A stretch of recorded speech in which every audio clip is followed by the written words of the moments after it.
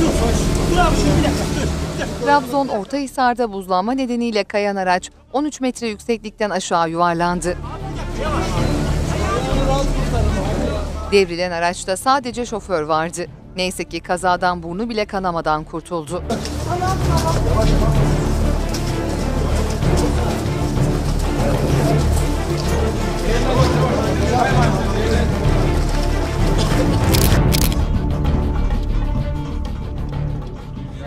Adana Ceyhan'dan bir izleyicimiz 4 yaşındaki Mustafa'ya otomobil kullandırıyor.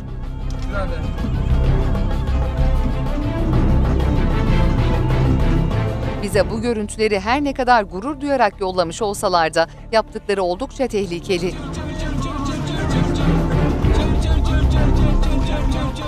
Direksiyon tamamen 4 yaşındaki çocuğa teslim ediliyor. Arkada oturanlar olaydan epey korkuyor. Adem burada sen al Adem. Adem.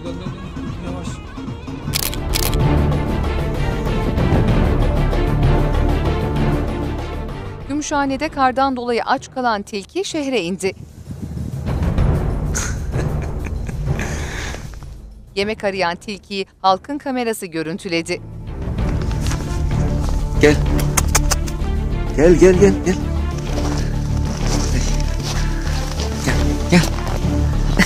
Oy Allah'ım yarabbim.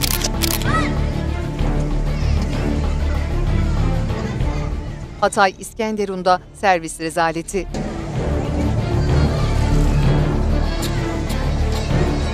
Suriye uyruklu adam kiraladığı araçla servis çekiyor.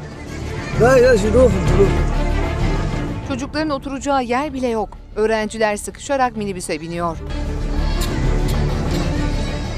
En kısa zamanda bu duruma dur denilmesini ümit ediyoruz.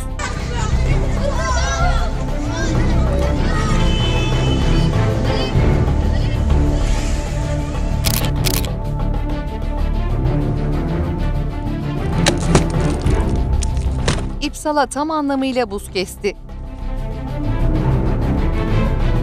Turpçular Köyü sakinleri uyandıklarında dışarıdaki çiçeklerin bile donduğunu görünce şaşkınlık yaşadı.